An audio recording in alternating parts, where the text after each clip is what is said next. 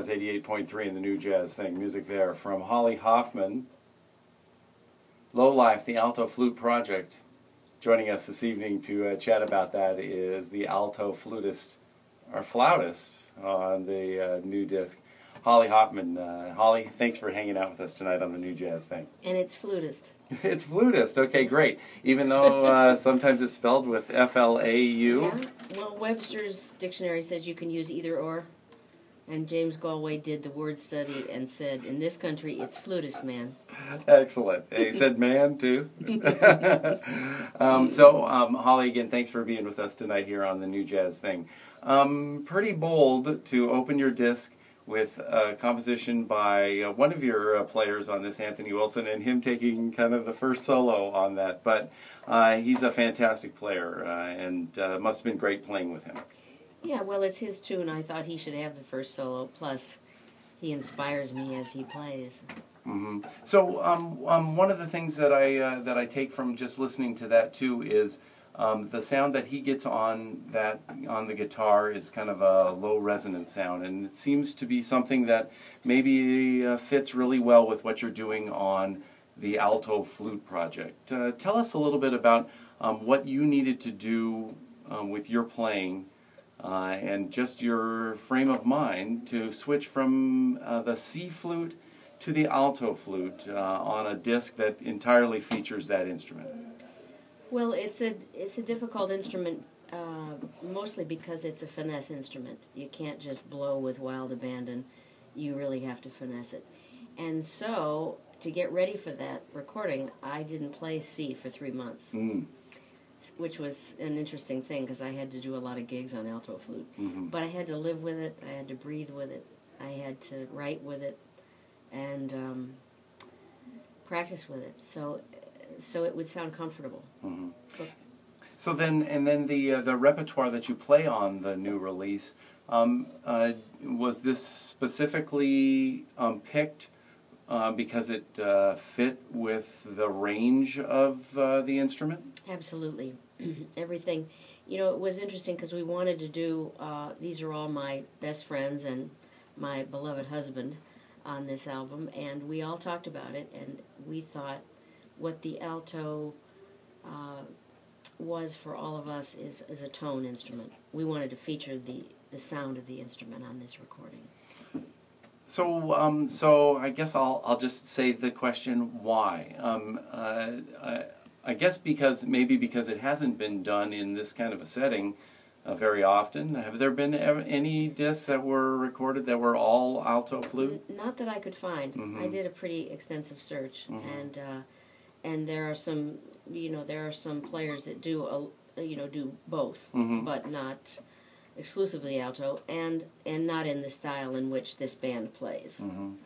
And so, um, so um, I, one of the things that uh, George Vargas, I, I, quoted him, a warmly satisfying work of broad appeal, um, that kind of uh, hints to kind of something that maybe you were looking for with this disc was to to make a disc that people could that maybe people who weren't into the flights of fancy that you that they may have heard on some of your previous work and on jazz works maybe in general can maybe hear. Tell, tell us a little about what you were thinking in that area. Well, I was sitting in the parking lot of Trader Joe's talking to Jeff Hamilton on the phone, and he said, uh, "Why does everybody have to do blowing albums with you know 92 choruses and everything? Why can't somebody just do a, a really great swinging?"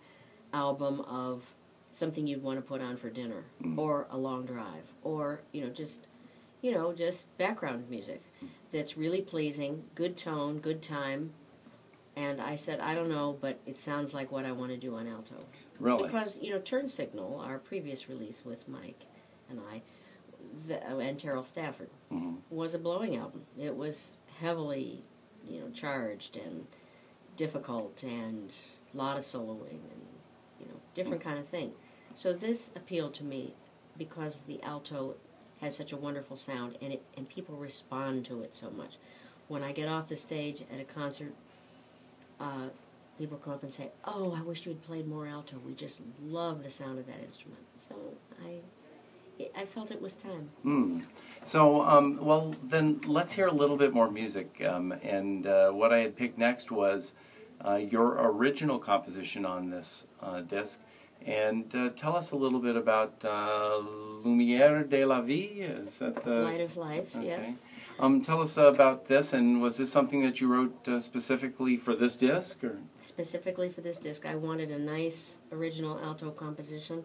And I started writing one day. I wasn't putting in time signatures or key signatures or anything. It ended up being in multi multi time signatures. But um, I started writing, and uh, this is what came out. And and uh, Mike Wofford calls it a a piece of high romanticism with a touch of grease.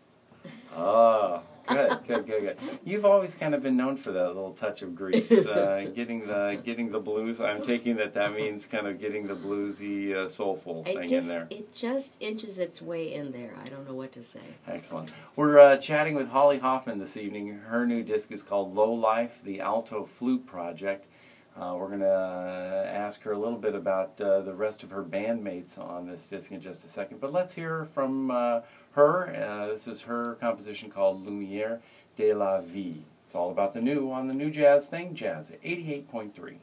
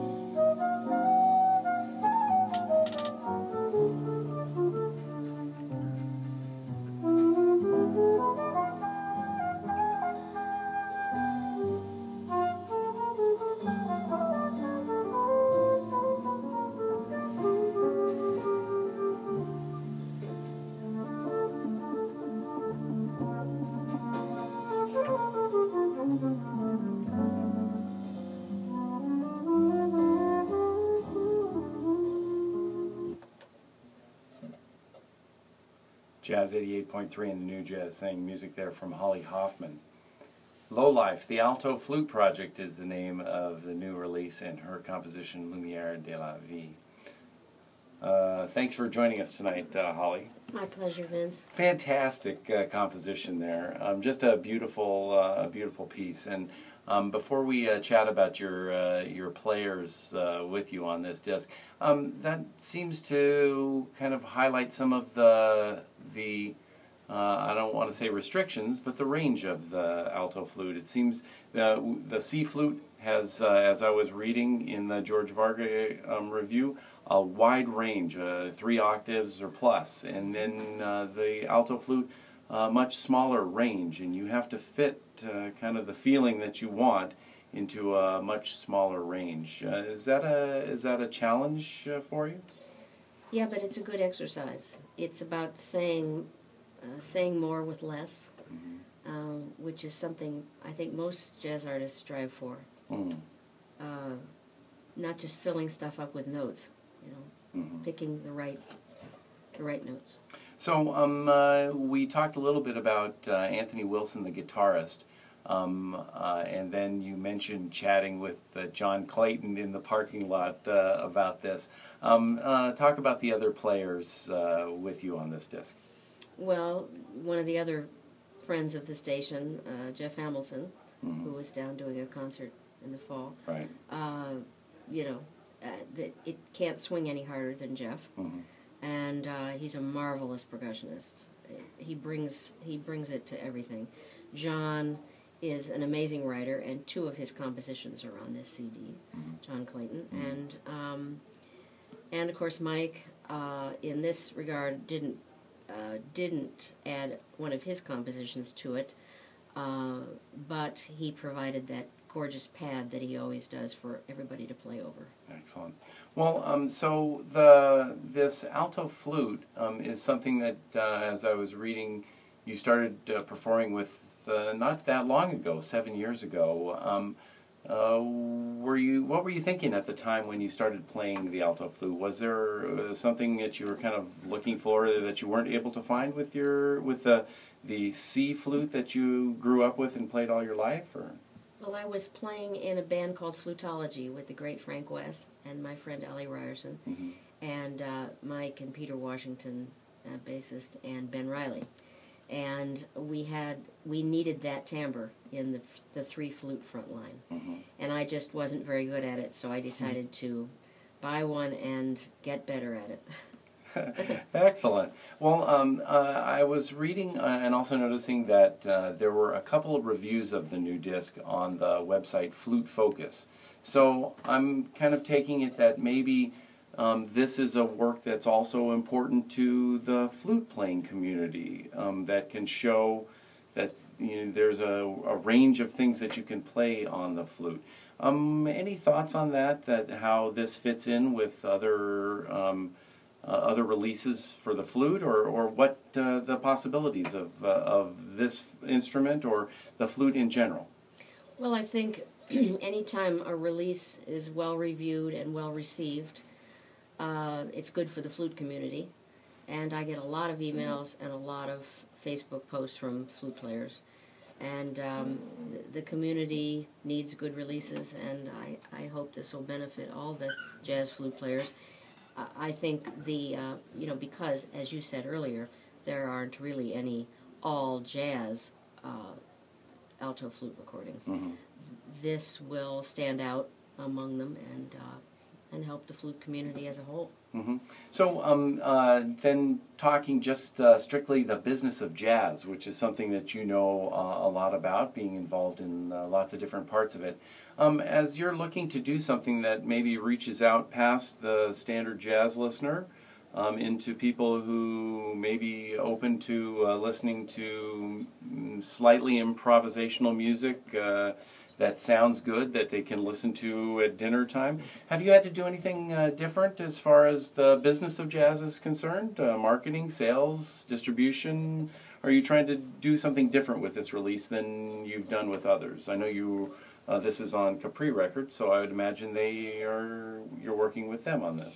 Right, and Capri's been our long uh, time label. They have a very good uh, uh, PR firm that works these, and they're they're touting it as a one of, but they're really working it the way they work all their releases, which they promote their artists very well, and uh, we're really fortunate to have Capri because they let us uh, play what we want. There are not a lot of suggestions. There are no restrictions, and that's the best thing about having a, a label that not all labels uh, let you do your own thing. Right, right, right. Well, um, you've had a CD release for this here in San Diego, and uh, San Diegans are very happy that they get the exclusive on that, and that's great. Um, uh, what are your plans for uh, for this disc and for being able to support it? And are you going to be doing some touring, or, or what are you going to do? We're going to do a West Coast and an East Coast tour on this uh, with this band. That's about all we can really do uh, because, well, because it's a quintet, it's hard to tour, and the guys are very busy with their own bands. Right, right. The Clayton Brothers and Jeff Hamilton's trio, and Anthony Mhm. has his own thing. So, um, we but we've got uh, uh, two already started, adding on dates. Our agent is adding on those dates right now. So. Excellent. So we'll do a little bit, but the main thing is these. I heard these players doing this music in my head for a very long time, and finally we did it. Excellent. Well, um, where can folks find out more about uh, this release and your music, and uh, where you're going to be playing it, and where they can pick it up? They can follow me on Facebook, and they can go to hollyhofmann.com. And uh, let's spell that for folks. Is it uh, maybe an interesting uh, thing Uh-huh. for them? A Holly with a Y, Mhm. and Hofmann is one F and two N's. Excellent. Um, and uh, to make it really easy for you, we've got a link to uh, Holly's website on the blog post for tonight's uh, show, and that's at jazz88.org slash blog. We're going to close uh, things this evening with John Clayton's composition, Cedar Wood. Um, Holly, uh, you want to tell folks a little bit about this? Uh, John wrote it for this recording session for me, and he said it was a tip of the hat to Cedar Walton and, of course, our uh, both of our mentors, uh, Ray Brown. Excellent. Well, Holly, um, congratulations on the new disc and uh, best of luck with it. And uh, we hope to be playing a lot of it and hear more of your music in the future. Thanks, Vince. We love the new jazz thing. Excellent. Well, um, Holly Hofmann from the Low Life, the Alto Flute Project, and this is Cedar Wood on the new jazz thing, Jazz 88.3.